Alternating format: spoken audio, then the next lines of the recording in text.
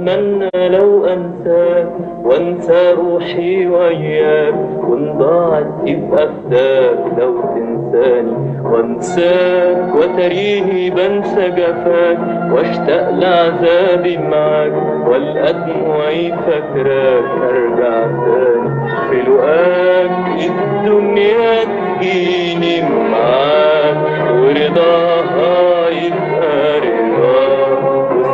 يهون في هواك في هواك طول حرماني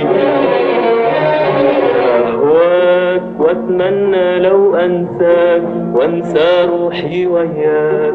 وان ضاعت فداك لو تنساني وانساك وتريني بنسى جفاك واشتاق لعذابي معاك. والقى دموعي فاكراك ارجع تاني لقاك الدنيا تجيني.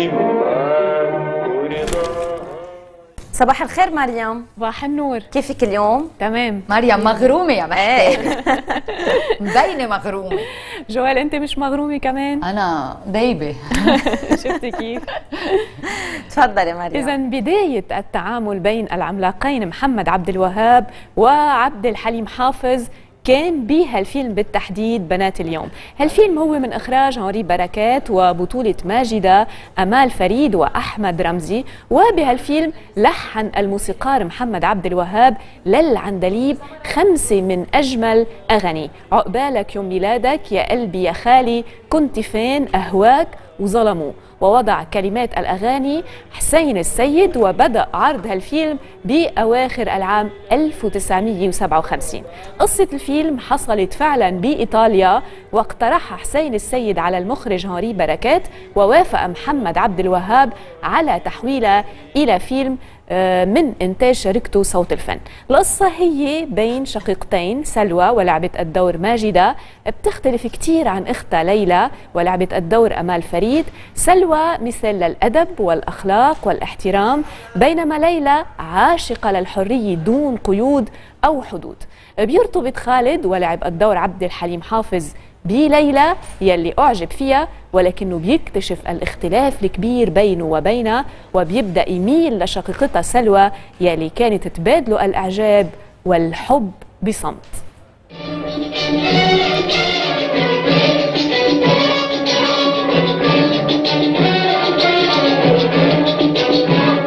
عقبالك يوم ميلادك لما تنول اللي شغل بالك يا قلبي.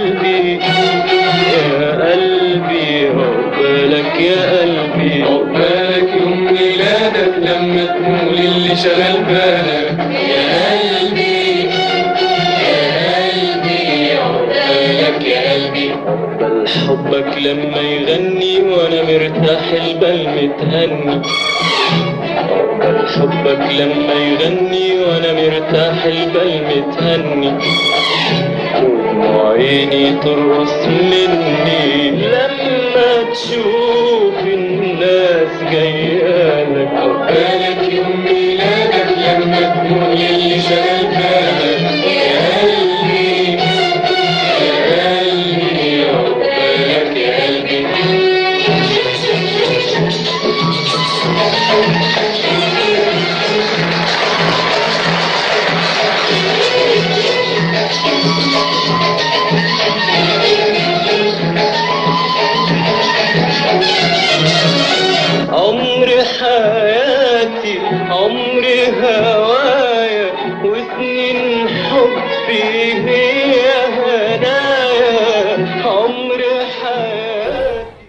إذا ماجدة لعبت بالفيلم ولأول مرة البطولة أمام عبد الحليم حافظ وكان من الغريب على المخرج هنري بركات أنه يختار ماجدة بدلعها التقليدي لتأدي دور الفتاة المسؤولة يلي بتحب بصمت بينما كانت مؤهلاتها بتأهلها لأداء دور الفتاة الطائشة. ولكن هنري بركات قرر إسناد دور البطولة لماجدة مع أنه أمال فريد كان سبق وأدى الدور البطولي أمام عبد الحليم حافظ بفيلم ليالي الحب اللي كان من إخراج حلمي رفلي. ولكن بفيلم بنات اليوم اختار المخرج هاني بركات لا أمال فريد أنها تبتعد عن دور الحبيبة يلي بتفوز بقلب عبد الحليم. ليعطي الدور لماجدة وكانت النتيجة فيلم يعتبر من أهم أفلام السينما المصرية خاصة أنه احتوى على أروع الأغنيات والألحان وأهمها غنية ظلموه.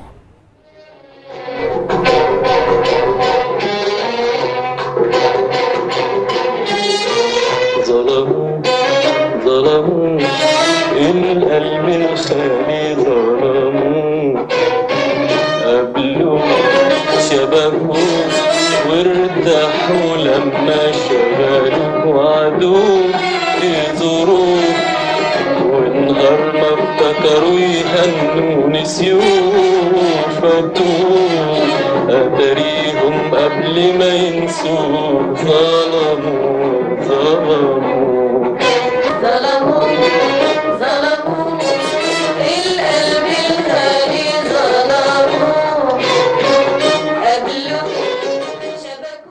مريم هالفيلم كان أول تعامل بين محمد عبد الوهاب وعبد الحليم حافظ. كيف صار اللقاء بيناتهم هالعملاقين نعم جوال لما تعرف عبد الوهاب على عبد الحليم حافظ كان بعده عبد الحليم ببداياته مطرب مغمور. بالوقت تعاقد معه عبد الوهاب على فيلم بنات اليوم ودفع له عربون. ولكن عبد الوهاب يلي كان معروف عنه بأنه كان كتير آه، يحب ما يحب ابدا المغامرة ما كان بده يغامر بفنان مش معروف. تريس بتنفيذ الفيلم إلى أن بدأ عبد الحليم يحقق النجاح والشهرة بعد فيلم لحن الوفاء وفيلم أيامنا الحلوة. أصبح عبد الحليم حافظ نجم وانهالت عليه العقود السينمائية وهون طلب عبد الوهاب عبر شركة أفلامه من العندليب إنه يبدأ العمل معه بالفيلم يلي كان تعاقد عليه.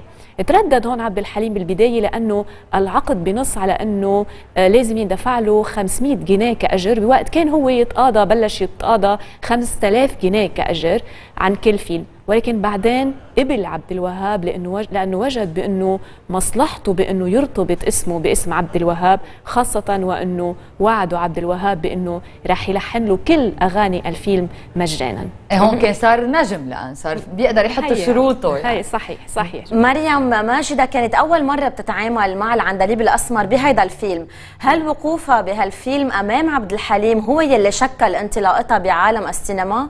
جوال هو بنات اليوم كان تقريبا الفيلم العاشر لماجدة قبل هالفيلم كانت مش بس حاضرة بقوة على الساحة السينمائية ولكن على الساحة الإنتاجية. وكانت بعدها خارجة من نجاح كتير كبير بفيلم أين عمري؟ لدرجة إنها اشترطت قبل ما تقوم بالبطولة ببنات اليوم بأنه توضع اسمها قبل اسم العندليب بجنريك الفيلم وما وافقت على العقد إلا لما قبل عبد الحليم حليم شرطة. ولكن لما عرض الفيلم وجدت اسم عبد الحليم هو الأول يعني عملوا فيها الضرب لماجدة. اذا انطلاقة ماجدة ما كانت بفيلم بنات اليوم ولكن الحق يقال إنه فيلم بنات اليوم يلي قدمته مع عبد الحليم كان له مكانة خاصة باعمالها الفنية. نعم. نعم. يلا بنسمع شي بعد. آه ما إيه. رح نسمع بقى. ما بقى رح. ما عندنا وقت. بنشوفك التنين مريم. الله مثل. العادة الأفلام هيك بتعطي نكهه حلوة لبرنامجنا. صحيح. شكرا لأختيارك. شكرا. عام 140 سنة من العطاءات الثقافية والتربوية. 140 سنة شهدت على طلاب لمعوا بكافة المجالات من جبران خليل جبران الأخطل الصغير أنسي الحج ريمو جبارة وغيرهم. مدى المقاعد الدراسية نفسها من مدرسة الحكمة أجيال تخرجت واحتفالا بعيد ال 140 على تأسيسها وتزامنا مع عيد مار يوسف شهدت مدرسة الحكمة على احتفالية تفاصيلها متابعة سوا بهالتقرير.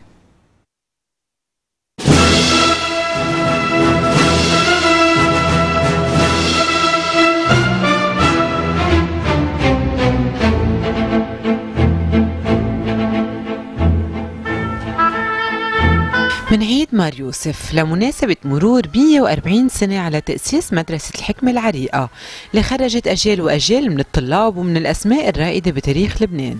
من هالمناسبتين بغاية الأهمية احتفل كل خريجي مدرسة الحكمة بدعوة من رئيسها الأب عصام إبراهيم بإقامة قداس احتفالي للاحتفال بعيد مار يوسف شفيع مدرسة الحكمة.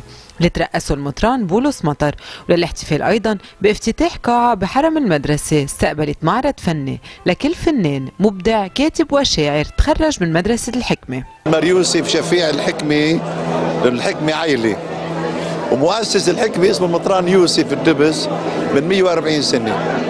وهذا التقليد كل سنة بالعير بنجتمع وخصوصي السنة بذكرى يوبيل 140 سنة. إن شاء الله بتنادي عليكم. نحن لما بنكون بالحكمة يعني بنكون بقلب لبنان. لأنه الحكمة خرجت نص لبنان.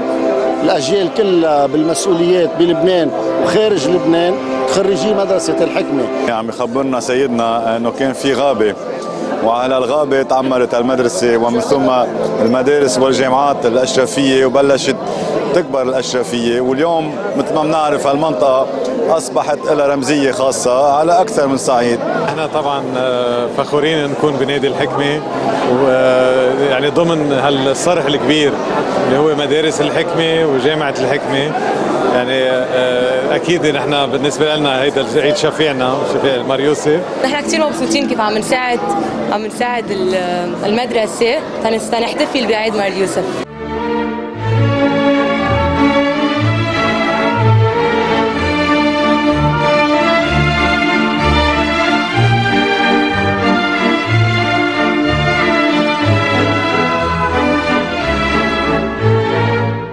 مدرسة الحكمة اللي حاملة رسالتها التربوية من أكثر من 140 سنة. جمعت بهالمناسبة أساتذة المدرسة الأصدقاء والقدامى.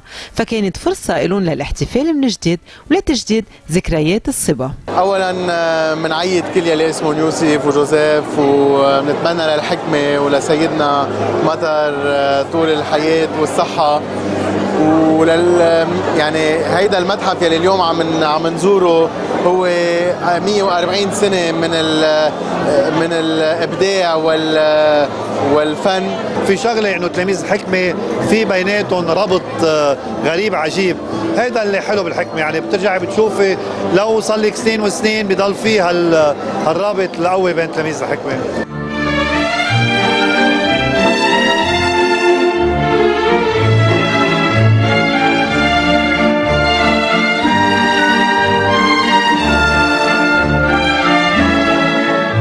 عيد مار يوسف هو آه، القديس شفيع العيلة وبي العيلة. ونحن بنتمنى يكون هذا العيد آه، مثل لكل لبناني عنده عيلة ي- يكون هيدا القديس مثل له تكون عم بيربي مزبوط. نشكر الله أنه بعدنا عمرانين 140 سنة. وإن شاء الله يا رب نقدر نضاين أكثر نقدر قد ما فينا نعطي للجيل الطالع ونقدر نربي قد ما فينا اجيال ونقدر نساهم. شيء بيشرف كثير ونحن كثير مبسوطين. بتشوفينا كلنا قديش مبسوطين وفرحانين يعني عقبال كل سنة ينعاد على الكل.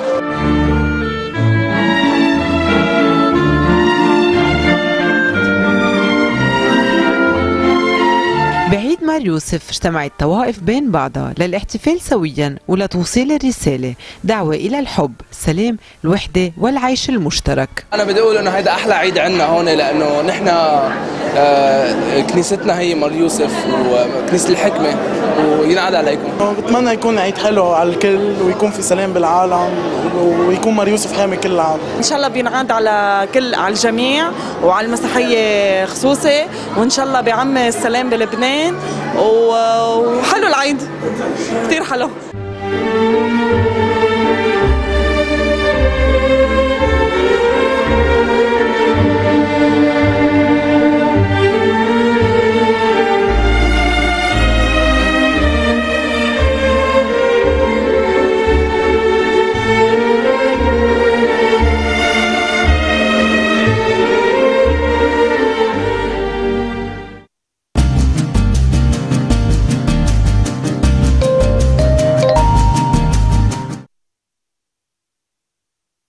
ضيفتنا لليوم جوانا نصار مديرة مشروع بناء السلام في لبنان بال UNDP أهلا وسهلا فيك جوانا.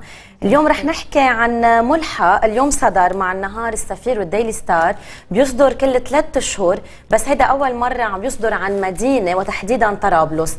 أول شيء كيف رح نشوف طرابلس بهيدا الملحق وليه اخترتوا طرابلس تحديدا؟ صباح الخير. أهلا فيكي. كيف رح نشوف طرابلس؟ آه، رح نشوفها مختلفة عن عن كيف عادة يعني عم نشوفها بالإعلام.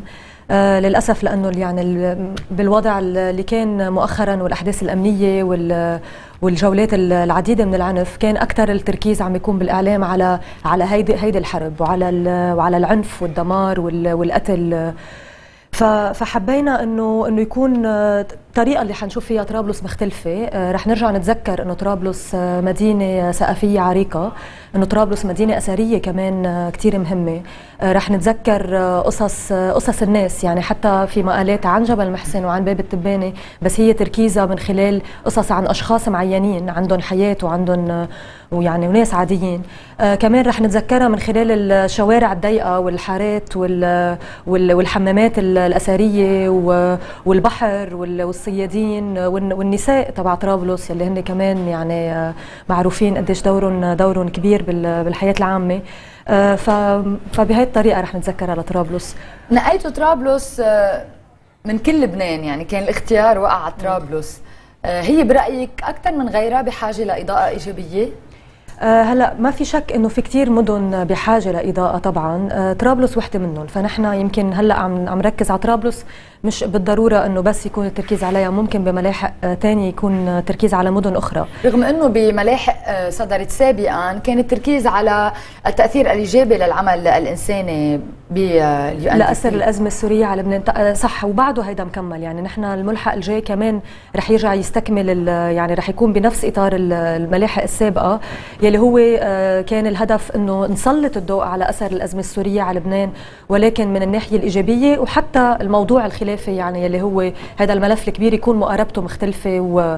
فهو الهدف إن كان بملاحق السابقه ولا ولا ملحق طرابلس هو خلق مساحة إيجابية. لا تغطية آه، مواضيع خلافية ومواضيع آه، يعني طابعها طابعها سلبي وخاصة بالنزاعات. إنه نقدر نكون عم نخلق هيدي المساحة لصحفيين آه، متعددين بينتموا لوسائل إعلامية مختلفة يقدروا يحكوا عن عن عن موضوع شائك أو خلينا عن نقول إنه كمان كل الصحفيين يلي اشتركوا بهالملحق هن من طرابلس. صح نعم هن من طرابلس هن صحفيين هن شباب هن كمان أكاديميين آه، فنانين و- وأساتذة جامعه شو حلوين الصور يلي عم نشوفهم. عن جد بيفرجونا طرابلس بوجهها الحقيقي يلي لازم كل العالم تعرفه وتتعرف عليه. هالخطوة يلي عم تعملوها هي من ضمن مشروع أكبر هو مشروع بناء السلام في لبنان. برأيك كيف رح يأثر هالملحق ايجابا على الناس؟ آه، للحقيقة يعني نحن اللي عم نحاول نعمله إن. إن كان من خلال هيدا الملحق أو من كل النشاطات اللي بنقوم فيها بالبرنامج إنه يكون عم.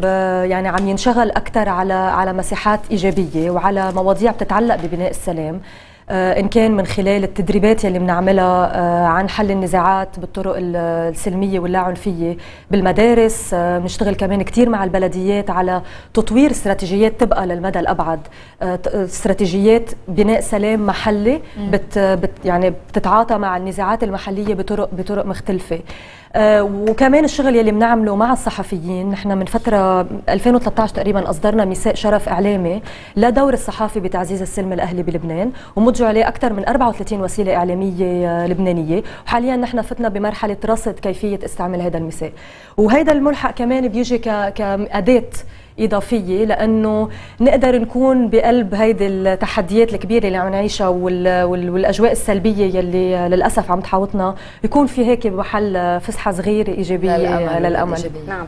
جوانا الصور اللي كنا عم نشوفهم هلأ كثير بسيطين وكثير من الحياة اليومية بطرابلس. آه على شو شددوا أكثر شيء المصورين والصحفية؟ يعني هلأ حتى كنا عم نشوف حرف. أشغال حرفية. مزبوط. يعني هو كان لكل مقال كان في الصور يلي هي بت بتعبر عن هذا الشيء يعني مثلا في الصورة اللي اللي قطعت اللي علقت عليها هي على على الكنايس والجوامع بطرابلس يلي يلي عدد كبير منها بيعود لقرون قديمة كثير فهيدا كان بيسوى نرجع كمان نتذكره. موضوع كمان الحرف طبعا وال وال والأعمال. اليدوية. يلي من زمان موجودة بالمدينة. آه وطبعا يعني الفكرة كمان إنه نرجع نتذكر كمان بالصورة يعني حتى نهر أبو علي يلي هو هلأ يعني طابعه آه، محدد وبنشوفه بحالته ال- يعني الكثير سيئة اليوم. مأساوية. هو هو كمان رجعنا تذكرنا من خلال الملحق إنه هو بلشت المدينة على ضفاف هيدا النهر وكان يعني الصور اللي, اللي قدرنا نشيلها إنه شيء بي- بي- بياخذ العقل يعني ومناظر خلابة للأسف هيدا شيء مغاير ف العنوان اليوم إعدام نهر اسمه أبو علي. تمام. تمام. آه، وهو بيحكي كمان يعني آه، كلنا كنا عم نكتشف ما كنا عارفين كل هيدي القصص آه، تاريخ هيدا النهر وكيف وكيف بلشت المدينة حواليه وكيف صار ووين صرنا اليوم. نعم. جوانا نحن بدنا نتمنى لكم التوفيق وبنشد على إيدكم عم تضووا على أماكن لازم الناس يعرفوا عنها أكثر وعلى القليله يعرفوا الشق الإيجابي رغم كل الأمور السلبية اللي معقول تصير فيها شكرا. شكرا لحضورك معنا وبالملاحق اللي جاي إن شاء الله بنشوف كمان كل مرة منطقة جديدة من شكرا لبنان. أنا إذا ممكن بس أذكر نحن عندنا ممولين كتار آه، للبرنامج الملحق هذا تحديدا من حكومة اليابان وألمانيا والنشاطات المختلفة الثانية لاكثر من ممول كمان بين الاتحاد الأوروبي والإنجليز و نسلم عليهم كلهم. شكرا لحضورك. أهلا وسهلا فيك. شكرا. بريك. نرجع نتابع أخبار الصباح.